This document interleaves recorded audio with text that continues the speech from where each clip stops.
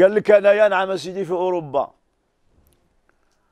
أنا النهارات نتاع الولد دخلت فيهم دخلت فيهم كليت نيشان واعطيتها غير الخمر في الحانات. فضربني الله تعالى بمرض فقدت فيه أربعين كيلوغرام.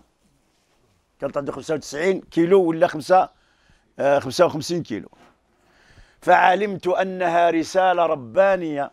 جاءتني من الواحد الأحد تنذرني إزاء الخطر الذي أنا مقبل عليه بسبب تجرؤي على اختراق حرمة رمضان. وأنا مسلم وأنا مسلم. وأنا واش بغيت نسقسيك الفقيه؟ قال لي الفقيه واش بغيت نسقسيك؟ علاش؟ أنا ذاك راني وليت لسيدي ربي وربي شفاني وراني غادي نبدي نصوم. ولكن سمعت الحديث نتاع النبي صلى الله عليه وسلم يقول اللي يشرب الخمر لا يقبل الله منه صلاة أربعين يوما. معنى ما غادي يقبل منه كاع العمل؟ واش نخليه حتى تكمل 40 يوم؟ نضربها الايامات وما نصليش حتى تكمل 40 يوم. لأن الحديث قال هادشي قال لك سمعته عند الفقهاء. الله أكبر. نوليو الحديث. من شرب الخمر زعما لا يقبل الله منه صلاة أربعين يوما كاينة ولا ما كايناش؟ كاينة حديث تاع رسول الله صلى الله عليه وسلم. صحيح؟ نعم صحيح. لكن هل حديث من شرب الخمر؟ قال كلمة من شرب الخمر. لا تقبل منه الصلاة أربعين يوم فإن تاب تاب الله عليه. ومن عاد وشرب الخمر لا تقبل منه أربعين يوما. زين. وإن تاب تاب الله عليه. وإن شرب الثالثة لا تقبل منه الصلاة أربعين يوم فإن تاب تاب الله عليه. وإن عاد الرابعة وشرب الخمر هذه صعبة هذه لم يتب الله عليه. لا يقبل ولا يتوب عليه. وسقاه يوم القيامة رب العزة في النار بردخ الخلاء. آه، آه، رد رد رضخ الخبال. وفي رواية آه، يشرب من طينة الخبال. قيل وما طينة الخبال يا رسول الله؟ قال عصارة أهل النار. إذا مات والعياذ بالله غير تائب مدمن.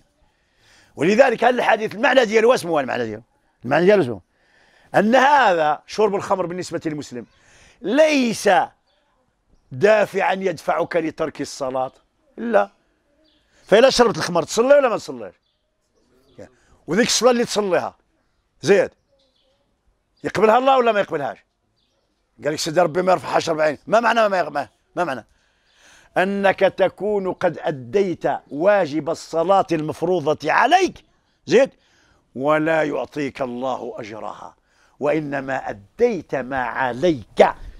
فلو أنك تركت حتى الصلاة فإن ترك الصلاة أشد من الزنا والخمر وقتل النفس. باش يعرفوا الناس باللي ترك الصلاة أشد من شرب الخمر وأشد من قتل النفس. عند الله. أوه أكبر الكبائر. بعد الشرك واش هو. ترك الصلاة بغيرها. باش يسمعوا على المسلمين. ولذلك إن شاء الله تبارك وتعالى خصك تصوم وتصلي إن شاء الله تبارك وتعالى.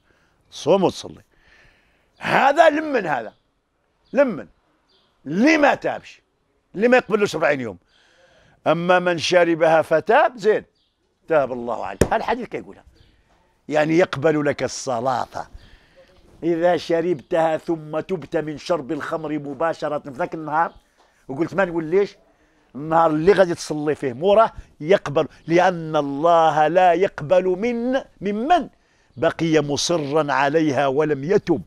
أما من شربها وتاب فإن التائب من الذنب كمن لا ذنب له. الناس تعرف هادشي. هادشي ماشي عليك أنت. أنت راك ندمت وراه عطاك ربي رسالة وراك طيحت 50 حتى هاد الطيحة نتاع إن شاء الله 40 كيلو راه مزيانة بالنسبة للإنسان. راه خفافيت شوية وتبقى تنوض الفجر وتبقى الحمد لله هذا الشيء كل شيء راه فيه خير الحمد لله وانت راه يبغيك سيدي ربي نقول لك علاش؟ قال لك النبي صلى الله عليه وسلم إذا أحب الله عبدا نزيد ايوا ها؟ ابتلاه علاش ابتليه علاش ابتليه ليرد به إليه ليسمع تضرعه ليكفر سيئاته ليكفر سيئاته كيقولوا سيدي العلماء الله يرضى عليهم سبحان الله. وسعت رحمته كل شيء. أبى إلا أن يسوق بعض عبيده إلى الجنة بالسلاسل. كاين شي ناس اللي دي ربي بالسيف للجنة بالسلاسل. هذا كان عاطيها الغفلة والخمر وما كان عنده لا رمضان لا والو. سيدي ربي بغى يدخلوه للجنة بغى يردوا عنده واسمه. عطاه المرض اللي بحطو وحتى قطع الياس. شو باش يولي لو لم شو سيدي ربي دار بها الشيء باسمه.